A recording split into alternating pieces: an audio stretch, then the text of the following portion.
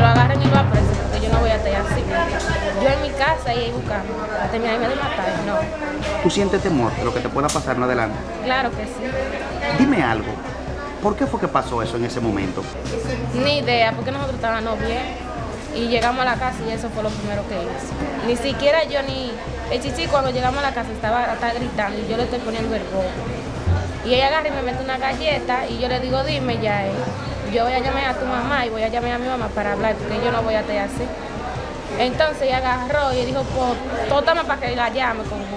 Y ella agarró el coli y me dio pues de planazo. Cuando él me fue a tirar, yo metí el brazo. Ustedes, ustedes estaban separados. Ajá, y teníamos, yo volví, me junté con él y dije, para que esté tranquilo, para que él viera a su niño, porque ahí lo andaba buscando la policía. Entonces teníamos una semana, ya que habíamos cumplido, que estábamos juntos, y ve lo que me hizo. ¿Por qué estaban separados? Por eso mismo, por violencia. ¿Se maltrataba constantemente? Claro que sí, la abuela mía se había muerto y no quería que yo fuera a la vaina de mi abuela. Y cada vez que yo llegaba siempre me daba golpe y vaina.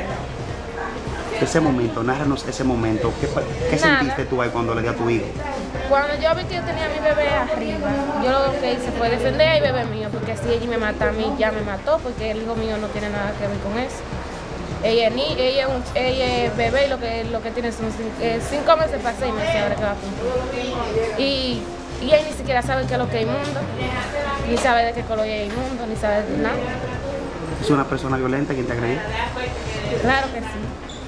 Tiene que, te- que, que llevarlo a, a algo, a un psicólogo, a un psiquiatra, yo no sé, a algo tiene que ser. Lo tienen que agarrar preso. ¿Qué le pide las autoridades? Que se haga justicia, eso yo quiero. ¿Cómo el nombre de él? Ya es López Martín, ¿Dónde te han dicho? ¿Dónde se encuentra él? en Cenoví. Él es de Cenoví.